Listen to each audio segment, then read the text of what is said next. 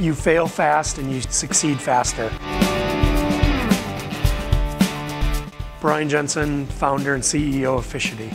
I'm a multi-species angler. Um, I love fishing bass, uh, muskie, walleye, but any opportunity I can to go fish saltwater, I do that as well. I caught a 50-inch muskie uh, two years ago on Leech Lake in northern Minnesota, and that was a fish of a lifetime and uh, really one of the best memories I have on the water.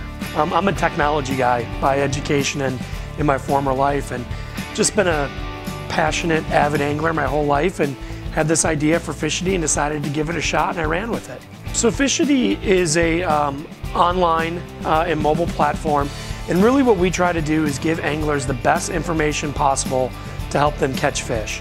And we're doing that through our interactive fishing maps, which we have uh, coverage all over the United States. Plus we have our own social platform where uh, anglers can connect with each other, post catches, spots.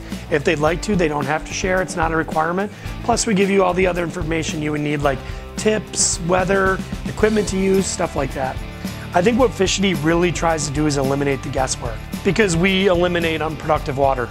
So a map is just a piece of information, a piece of content that you can use. But you got to take that and couple it with a whole a lot of other information to really say, okay, this is the spot that where I need to go. This is what I need to use, and this is how I'm going to catch that fish.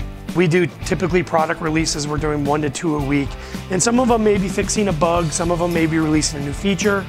But either way, we're constantly innovating and constantly trying to improve the product.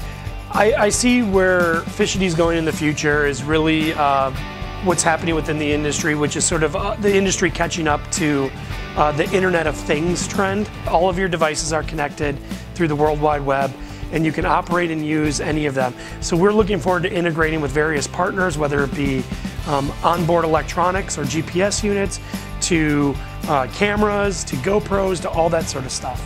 I love to see technology being used uh, and, and, we're really seeing a strong emergence of it in, in fishing.